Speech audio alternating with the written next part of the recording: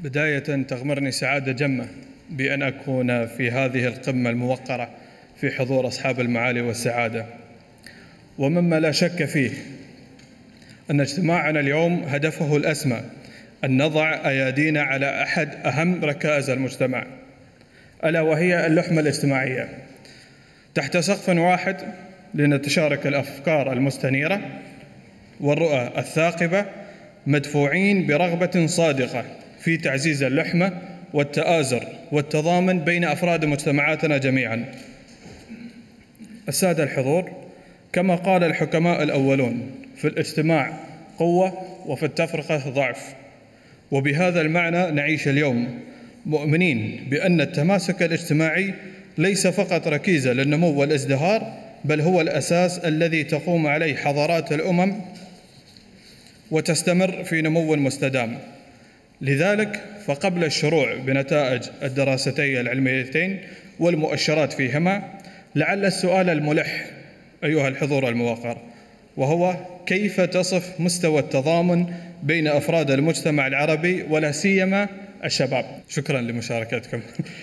والنتيجة تشير إلى حد ما الدراسة العلمية التي سارت بها طريق يقوده نور العلم ويقوده خبراء عرب وشباب عرب.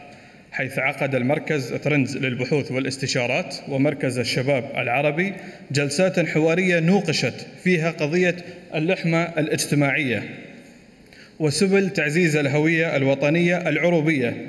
وطرح فيها السؤال ما الذي يجعلنا عرب؟ وقد شارك معنا فيها 53 محاور من الشباب العربي و23 جنسية عربية. وقد تبين أن يهيمن بين التضامن الشعوب العربية واللحمة الاجتماعية بنسب متوسطة بلغت كما هي موضحة في الشاشة وبعضها يشوبها بعض التحديات. وفي خضم تلك النقاشات تباينت بعض النتائج. أولها أن الشباب العربي على وعي كافي بأهمية اللحمة الاجتماعية على الرغم من تفاوت النسيج المجتمعي. والنتيجة الأخرى وقد أبهرتني شخصيا أن اللغة العربية هي كانت الإسمنت الذي يوحد العرب على أيدي واحدة.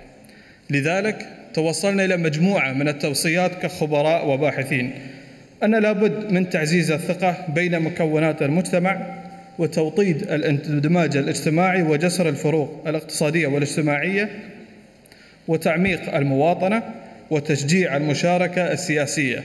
وكذلك تمكين المرأة في المجتمع المدني وترسيخ قيم التسامح بين مكونات المجتمع الثقافي بالشكل العمودي.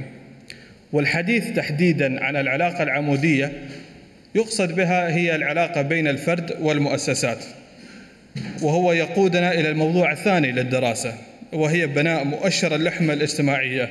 وقبل الشروع أيضا في تلك الدراسة وتفاصيلها اسمحوا لي بأن أسأل وهو السؤال الأخير. كيف تصف ثقة الجمهور العربي بالمؤسسات؟ أيضا مشابهة للدراسة الحمد لله.